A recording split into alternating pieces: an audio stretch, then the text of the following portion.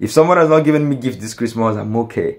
I have a gift that passes all kind of gifts I would ever receive from any human. The birth of Jesus Christ is not a ritual that we get to do every year. But it is something that is unique and impactful.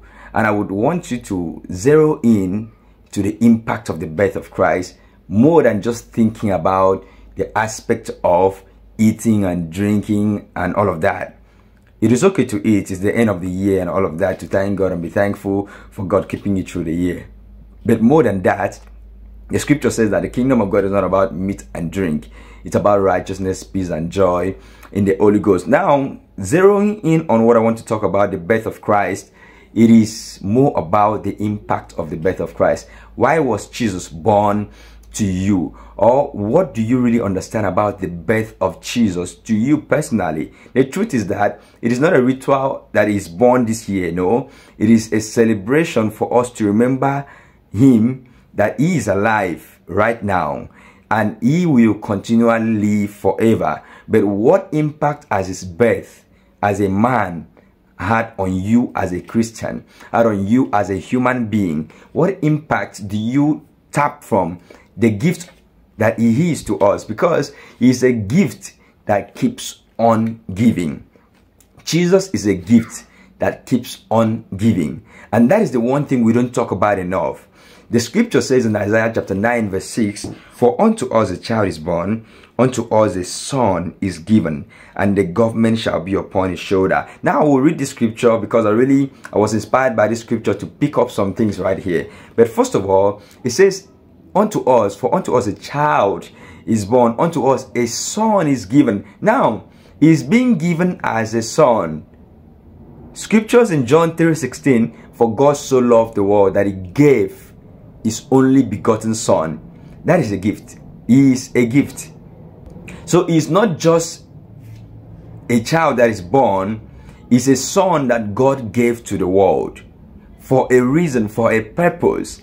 And if we don't receive this gift knowing the purpose, now the first thought that came to my mind is how do you react to a gift being given to you?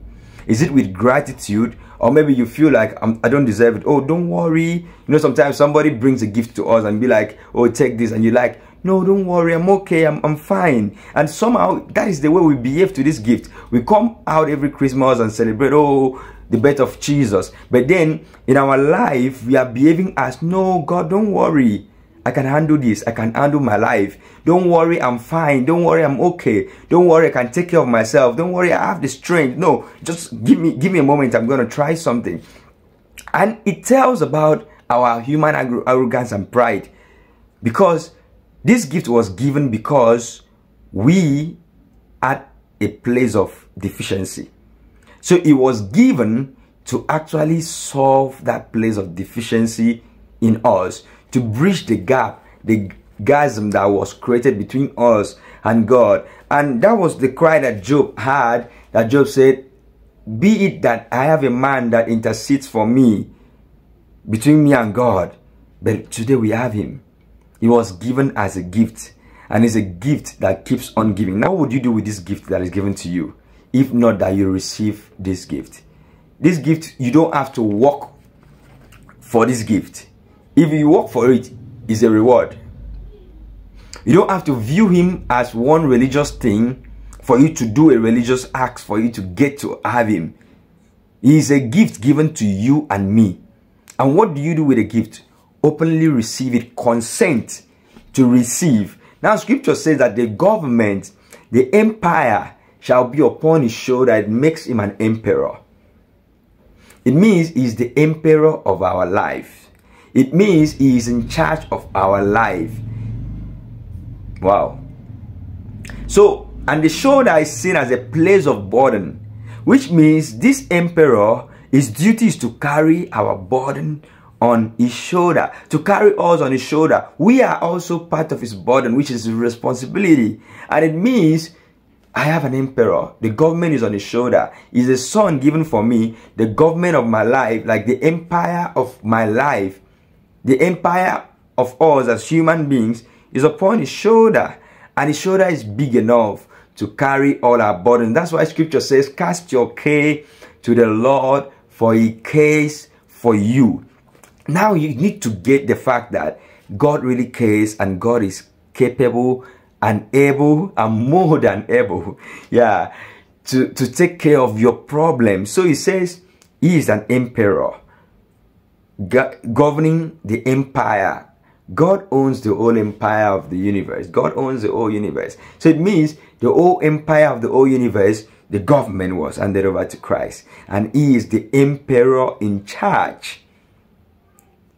Ah, his shoulders are big enough to carry my burden. Now I want you to get to a place of faith, of just seeing him beyond just celebrating Christ was born, oh, the angels we have heard on high, and all of that, the shepherds, see him as this emperor that came for your sake, that has a big old shoulders to carry you on his shoulders. And what do you do for someone to carry you on their shoulders, to carry your burden on their shoulders, is to consent. Have you consented to this Savior? Have you consented to the Lord Jesus for Him to carry you? Because if you've not consented, you've not received this Son that is given to you.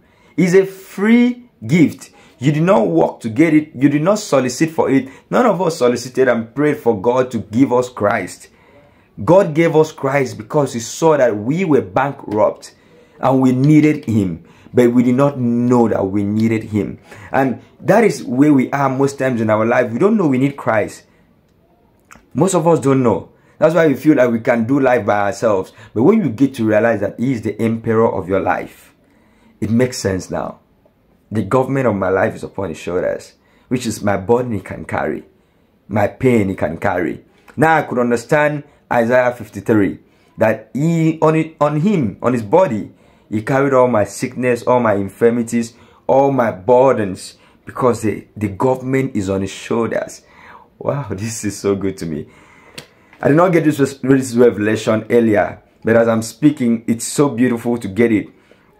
Eve is my emperor and the government the empire is on his shoulder is carrying the empire. I am an empire too is carrying me. You an empire is carrying you. He can care for me. He has already carried my burden. He has already carried my pain. He has already carried my sickness. He has already nailed them to the cross. I have an emperor. Now let me continue before I hang there. And his name shall be called. Now let's wait on that name. His name means authority. Name means character. Name means what you are known for. So if you are being called Samuel, that's why in the Old Testament, in the Bible, when they will call someone a name, they will the name will have a meaning.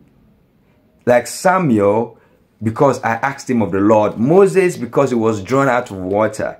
The name represents how he came forth and all of that. So your name matters. And now let's talk about Christ's name. The scripture says that his name shall be wonderful. I checked up that word wonderful. Wonderful means a miracle, which is wonderful things. And you can refer back to the land of Egypt when God divided the Red Sea. That was a wonderful thing. That was a miracle. You can refer back to the New Testament when he would heal the sick, raise the dead, cure the blindness, and all of that.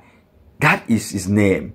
And that is his character. That's why he can still do miracle even now. I need you to get it.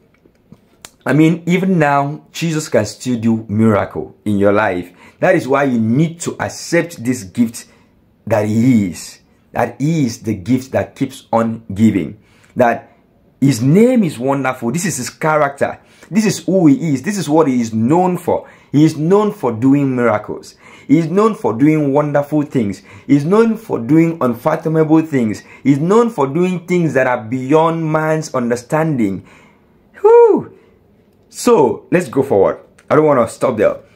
His name shall be called Wonderful Counselor. Now, as a counselor, is my advisor. And through the Holy Spirit, because the Holy Spirit is the Spirit of Christ, He said that He will give us another comforter, the Holy Spirit, who will counsel us and lead us into all wisdom. So Christ, through His Spirit in us, is counseling us. And we need to know we have a counselor. We have a counselor in Christ Jesus. This is the gift that keeps on giving. If I need wisdom, I can ask Him. When I need wisdom, because I will need, I can ask him, I can go to him. When I'm in need, I can go to him. when I'm troubled, I can go to him. What a gift. Now, to move on, his name shall be called Wonderful, Counselor, the Mighty God. Now, I checked up that word mighty, and it means a tyrant. He's, he's a mighty God, he's powerful. He's a powerful God. There's nothing that is beyond him, there's nothing that he cannot do. Now, all this is showing the display of Jesus as God. All this is showing that Jesus is not just another man, he is the Son of God that is given. He was born as a child, but he is the Son of God that was given to us. That was why he walked as a God man on earth. He is powerful. He is a tyrant God, but he is so strong but so loving. Such that his strength is not such tyrant that is destructive, such power that is corruptive, so, such power that suppresses, but it's such power that is so inviting, so inviting, so welcoming. So such power that welcomes you in your weakness and it, and it says, give me your weakness and I replace your weakness with my strength. And again, he is not just known as the mighty God, he is known as the everlasting Father, like our everlasting Abba. Such that if you would think, oh, he is a tyrant, powerful, this powerful being that is, that is a tyrant, uh, can't get to him so that I won't be destroyed. It says he is the everlasting Father. This is relationship. I, he says, I have the power as a mighty God to do whatever you need. But then, I also have the heart as a father to love you. I also have the heart as a father to invite you, to welcome you, to embrace you, to hug you, to call you my beloved, to call you my daughter, my son. You are welcome.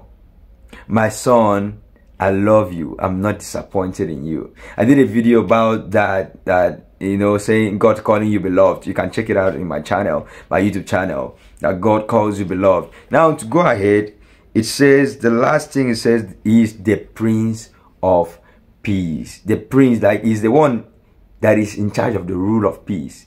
He's the ruler of peace. He's the one that gives peace. It's kind of like he's in charge of peace. He's in charge of dispensing peace. And peace is not just peace of mind, which is calm, Peace is not just quietness, his peace is welfare. He's the one in charge of making sure that you are okay. You are fine. When somebody asks you, How are you? and you say, I'm fine, Jesus makes you fine. Jesus makes you okay. that is his work. His work is to give you peace, a peace that passes understanding, a peace that you are going through difficulty, you are going through pain, you are going through some kind of hurt that would destroy you, and that peace is right there. And it just is amazing that He is in charge of your welfare, He's making sure that you are good. He's making sure that you won't commit suicide, even when you're having suicidal thoughts. He's making sure that even though you are depressed, He is there embracing you, owning you, making sure He gives you welfare. This is the Prince of Peace. I want you to see this gift as your gift and to openly consent to receive this gift. You don't have to work to receive this gift, you just have to consent. All right, thank you. Thank you, God. Thank you for this gift. And if you can have a heart of gratitude to just tell God, thank you for the gift of Christ. Thank you for the gift of your son. I am so grateful that you sent him to die. I'm so grateful because he actually was born to die for you. That's why the gift that was presented to him by the wise men was represented was representative of that. The gold shows him as God.